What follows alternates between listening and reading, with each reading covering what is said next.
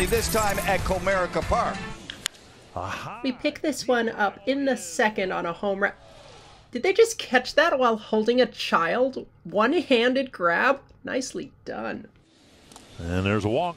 This ejection concerns balk no calls. It's Rocco Baldelli, who recently found an affinity for getting ejected early. Maybe has some family or friends visiting, more important than managing a big league ball club. But today, it's the second inning regarding this pitcher's set position. And a strikeout. And there's a. With the new batter now, we're watching for the pitcher's cadence in set. Remember, you have to come to a stop before you throw home. Did this pitcher stop or not?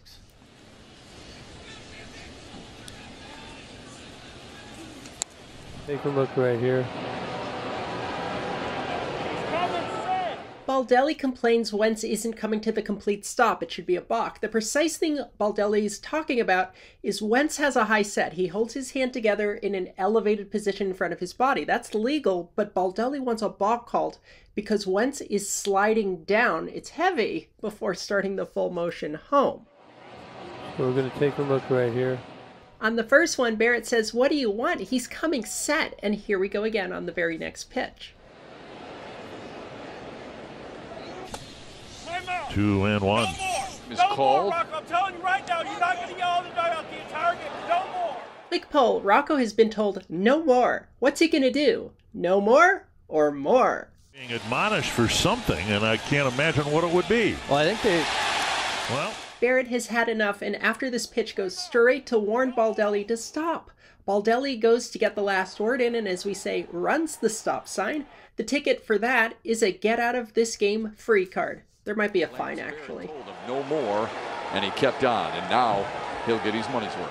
A couple minutes ago, Jayce Tingler actually came down to the far side of the dugout and yelled towards the first base umpire to keep an eye on, saying, "Hey, he can't." So make that Baldelli's arguing the balk rule, no stop balk. But the thing about that is the stop doesn't necessarily have to occur when you, as the offense, thinks it does. The stop Baldelli is talking about may not be the one that the umpires are talking about.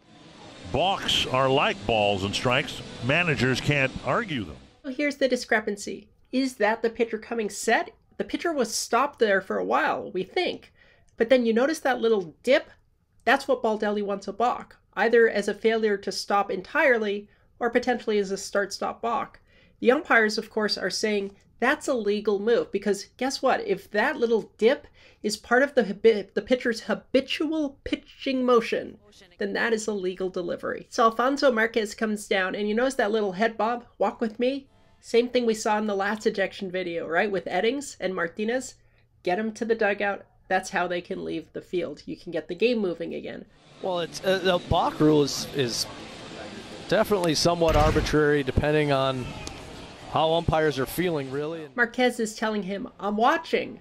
How he's up and comes down. So I saw, I'm watching, I have that.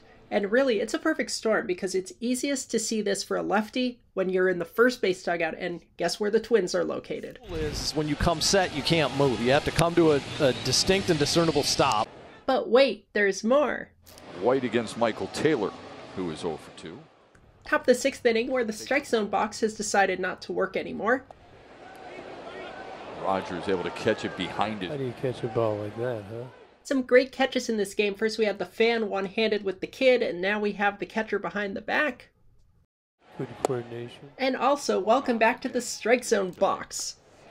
Oh, Taylor went too far. It's even. call on them. You're just in time. Let's win this game. Just missed low.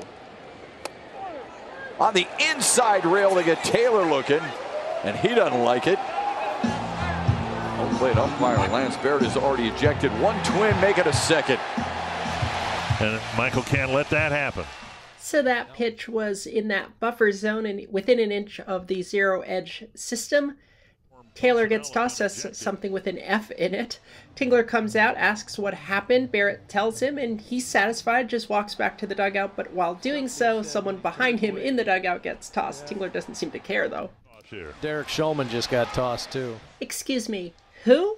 Twins assistant hitting coach. Oh, thanks. So three Twins uniform personnel have been ejected.